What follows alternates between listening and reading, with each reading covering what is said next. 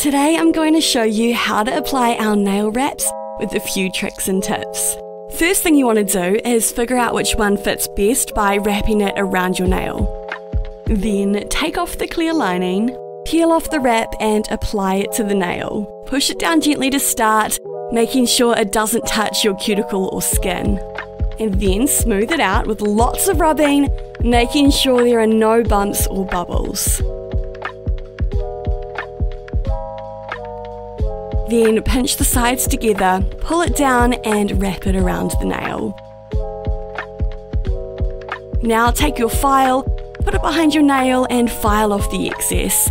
Try to file in one direction, not back and forth if you can.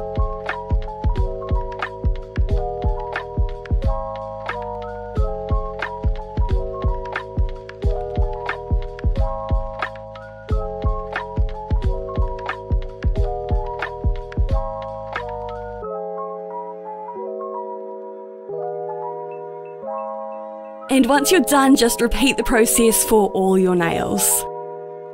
And there you have it, an effortless manicure in minutes. The last thing you want to do is seal your nails with a clear coat to pump up that gloss, protect them, and make them last longer.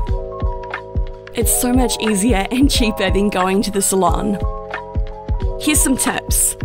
It's a good idea to wash your nails before you apply to remove any oils. And it's good to push back and trim your cuticles so the wrap doesn't touch any skin. If you have time, you can add a clear coat to your nails before you apply the wraps and it'll last even longer. Or another idea to make them last longer is to top up on the clear coat every five days or so. If you find the wrap is a bit too big for your nail, you can always trim it with scissors.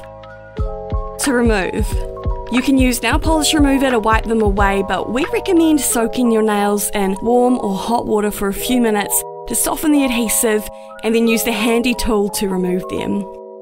If you used a clear coat, it's good to use nail polish remover first to loosen them up and then pick them off with the handy tool after soaking in some warm water. A new solution for gorgeous nails. And there you have it.